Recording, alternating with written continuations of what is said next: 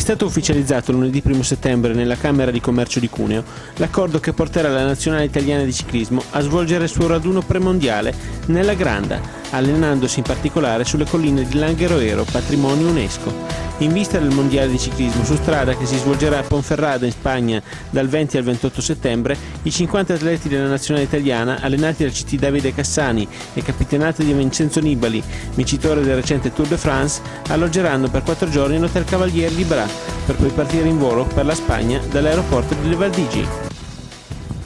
A distanza di vent'anni dalla tragica alluvione del 1994 che distrusse il Basso Piemonte ed, in particolare, il vasto territorio della provincia di Cuneo, arriva nella fine settimana, dal 12 al 14 settembre, l'operazione Tanaro Amico 1994-2014, dedicata alla memoria di quegli avvenimenti.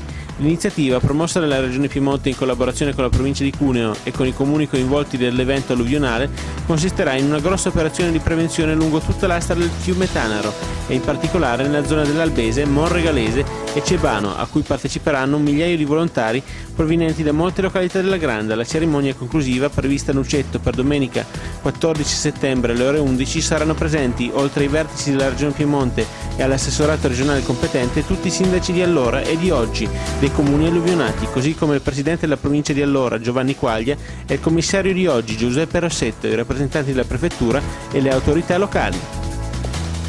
Il negozio Gamma SNC di via 20 settembre numero 36 a Cuneo, unico rivenditore Apple autorizzato del capoluogo, ha subito un furto con spaccata nella notte tra sabato 30 e domenica 31 agosto. Alcuni malviventi hanno forzato la serranda per poi togliere un tombino dalla strada e lanciarlo contro la vetrata dell'esercizio. Mentre suonava l'allarme, i ladri si sono impossessati in pochi secondi di diversi iPad, iPhone e di due portatili esposti in vetrina. Diversi residenti locali li hanno visti dai balconi mentre fuggivano con il bottino. Sul caso indaga la polizia. La mattina di lunedì 1 settembre, intorno alle 7.45, è avvenuto un grave incidente stradale sulla Torino-Savone, in prossimità del casello di Fossano.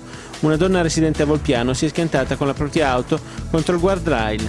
La donna non ha riportato ferite ed è rimasta illesa, ma la figlia di pochi anni ha riportato un grave trauma cranico dopo aver sfondato con la testa il parabrezza. Immediato l'intervento sul posto della polstrada di Mondovì, oltre che dell'ambulanza del 118 che ha provveduto a trasportare la bambina al pronto soccorso dell'ospedale Santa Croce di Cuneo, luogo dove la piccola è stata sottoposta ad un delicato intervento chirurgico e dove tuttora ricoverata in prognosi riservata nel reparto di neurochirurgia. Per cause in fase di accertamento, nel pomeriggio di lunedì 1 settembre, un settantenne di Carrù è stato gravemente ferito in un incidente sul lavoro presso la ISAPSAL di frazione Molini di Trinità.